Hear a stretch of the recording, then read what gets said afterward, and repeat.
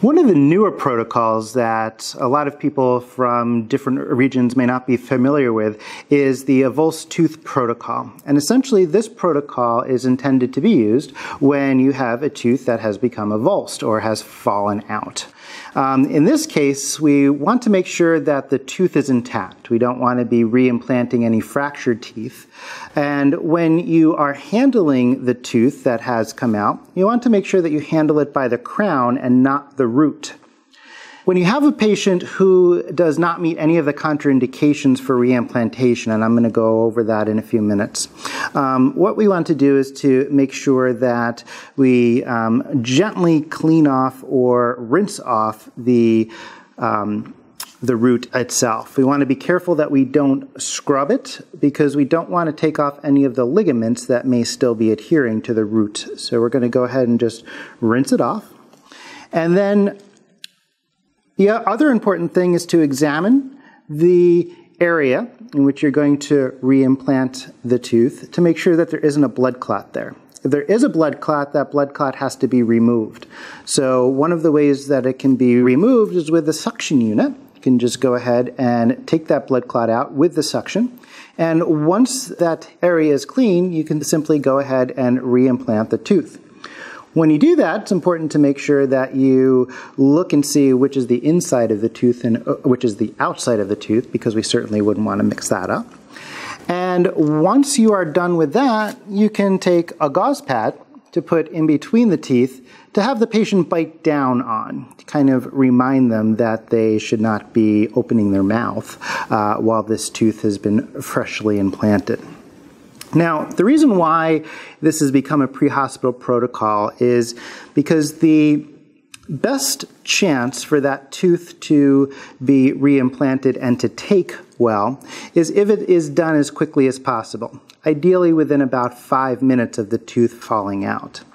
So, when we do this, we want to make sure that we consider the reasons why we don't want to put it in or the contraindications. If the tooth is fractured, we don't want to reimplant it.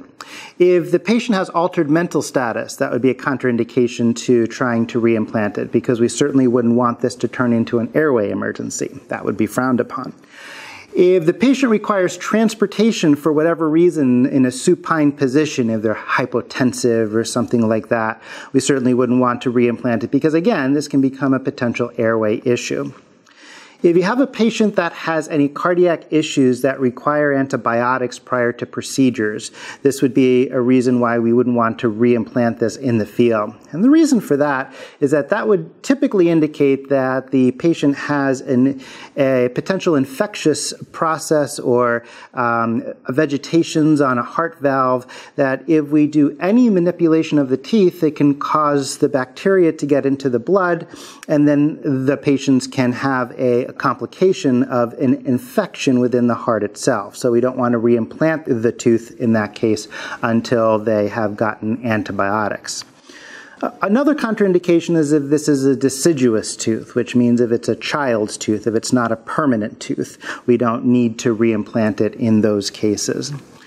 So, if we can't, or if there is a reason not to reimplant the tooth, uh, we would need to transport it in some medium to the hospital.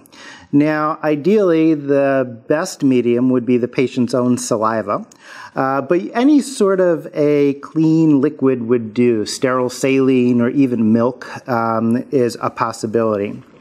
So, one of the things that you can consider doing is to uh, take a saline flush and open up the saline flush.